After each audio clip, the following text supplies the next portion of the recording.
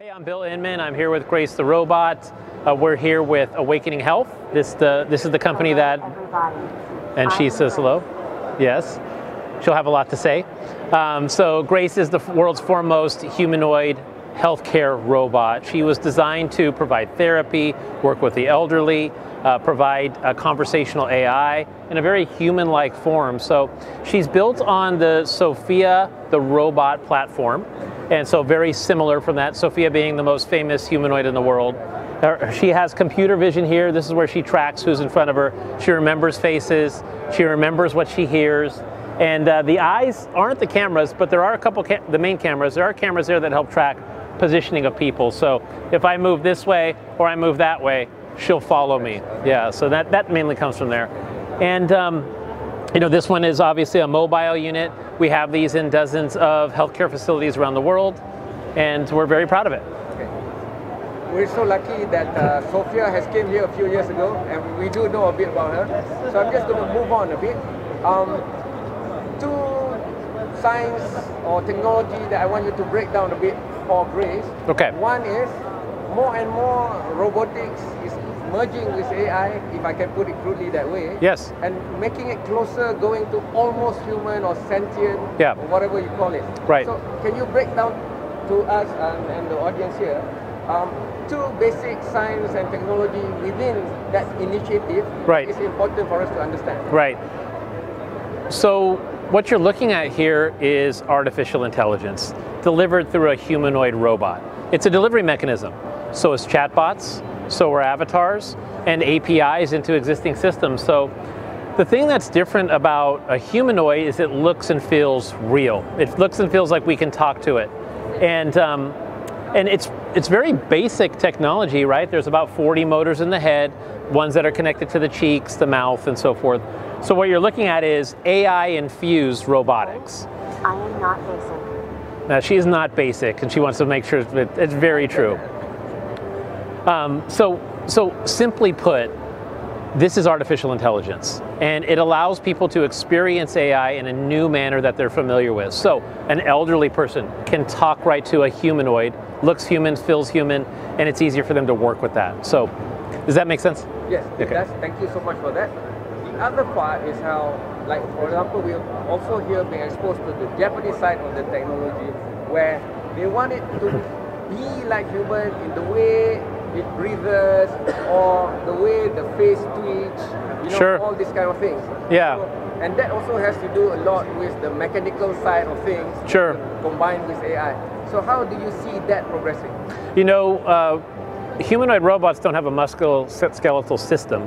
They're, they're a little bit more basic than that. So the Frubber, you know, really cover, Frubber is the name of the skin uh, technology, really covers her face and it doesn't have all the inner workings of human, and you know, as time progresses, more and more, more motors will be miniaturized so that there's different movements, it looks more human.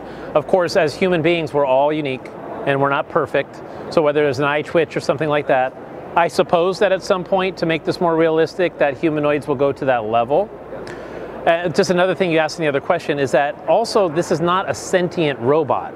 So when artificial intelligence reaches the point where it's as smart as a human, that's called artificial general intelligence. And we're still in the age of artificial narrow intelligence. Do count this for me. Tell me about this. Write this for me. And that's narrow. So they're not fully human yet, but the illusion that you're talking to an AI that looks like a human kind of puts us into its own spectrum. Correct. It, it's, it's different, it's more uh, accessible for many. I want to go there because it was very interesting. One particular piece of information that was discussed in your panel just now. Okay. But before I get there, Sarawak is the biggest state in Malaysia, but it's not exactly the first most developed.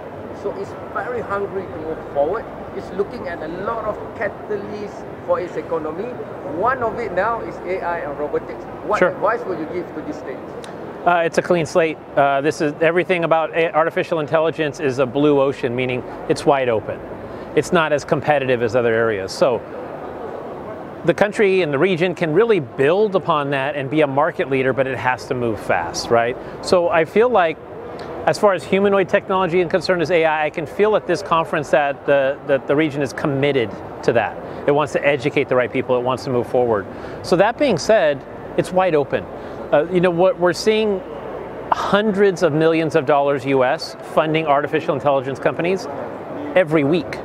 So it's wide open. There are, in some cases, there are teenagers or young men and, and women that are getting that money. So in the region, I feel like there's a great opportunity just to start, just to go and take action.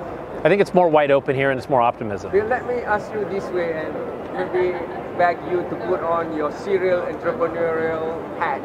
Because in some writings on internet when I Google about you, you're like the extraordinaire that can put ideas straight away to business and it works all the time. And sometimes we struggle with that. We have good ideas, we have good policy, but the business side, the commercialization side, we don't really hit it. And that's going to be costly for robotics and AI. So in our local culture also, it's about respecting the wisdom of the elders. Would you consider looking at Sarawak, looking at Malaysia and pitching your own focus here and help us grow that?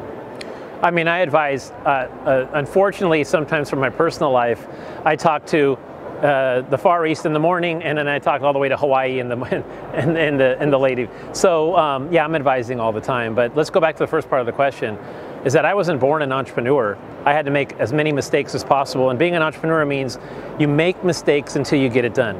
Thomas Edison with the light bulb, he had to do 10,000 different light bulbs until one turned on. So you make mistakes, and you have to be willing to do that, but you have to take the risk. Now, there's a lot of ways to de risk things. First of all, if you can find a market that you can sell to, it's better to go get a commitment from somebody that has the marketing than to build a product and then take it and say, I hope they buy. It doesn't work like that. You really have to find the market and then build the product for the product market fit. For the benefit of the masses, uh, allow me to backtrack maybe a few steps. And you were also a big, big proponent and expert of blockchain technology before. Sure. And uh, in the panel that you were discussing, data is a great focus rather than regulate AI and regulate this, regulate data, for example. So, yeah. based on that, how do you see? Because this side of the world has tons of data, but many and majority is not in English.